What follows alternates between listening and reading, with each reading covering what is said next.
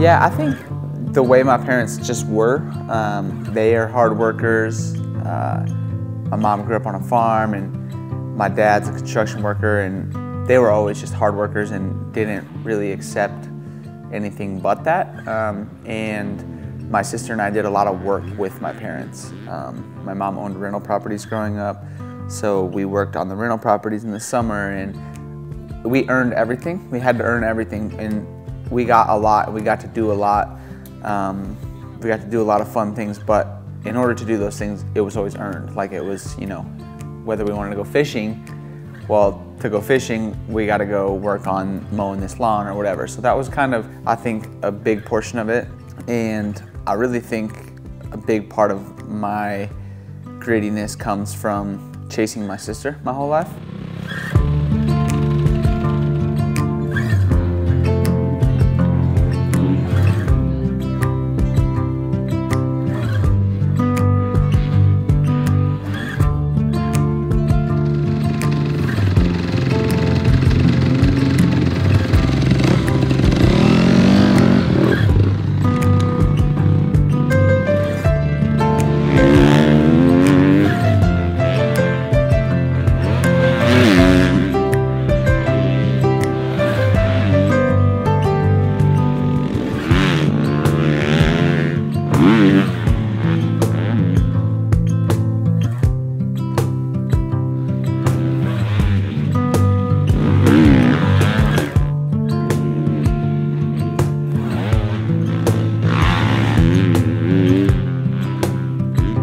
We were always close growing up. Uh, she kind of, she beat me up a lot growing up, but she also was like always had my back. You know, she was the person who defended me.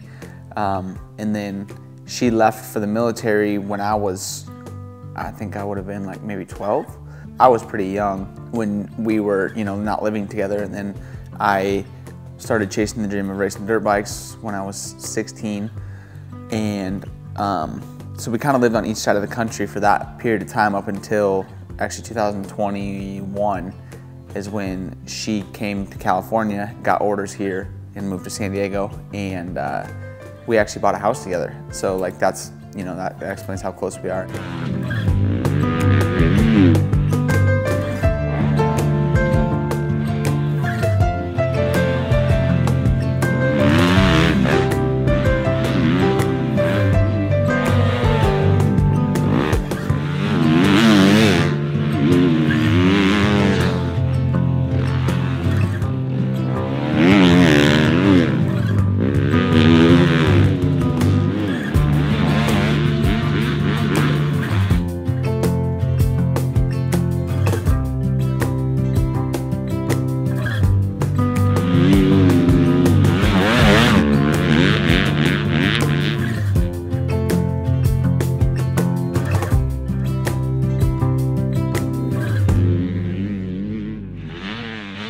When I refer to like how I always want to do my very best or put my best foot forward um, and really work hard is because of like knowing kind of like what my sister does. Um, it's pretty insane uh, the sacrifices they do take to be in the military and in all the military personnel and um, how much of your life that it consumes and um, how much of your life that you don't have control over. It's pretty cool to see how she does it, and that's kind of what I what I go off of when I say I'm you know I'm always chasing her.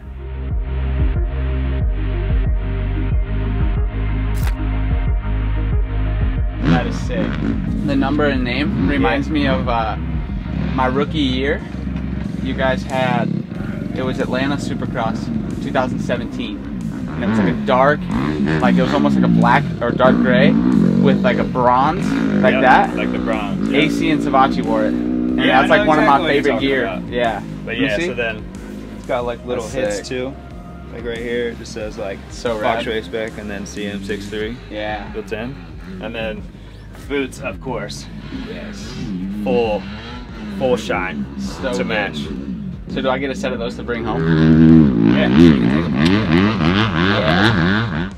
Military appreciation race has always been really special to me, um, even the years I didn't race it, because I like that um, our industry and our sport does does do that, and not only do we make a race based around military, but all of the teams, um, all of the manufacturers, the gear companies, um, they really go all out. Everyone has a, a, a one-off, you know, colorway on their bikes, and all of our gear is very one-off, and um, they put a lot of effort towards it. And I know that that takes a lot of effort to to do that and to make those changes, but I think it just does really show like what we as an industry how we do appreciate it and I appreciate that from them because of being, you know, having an immediate family member in the military.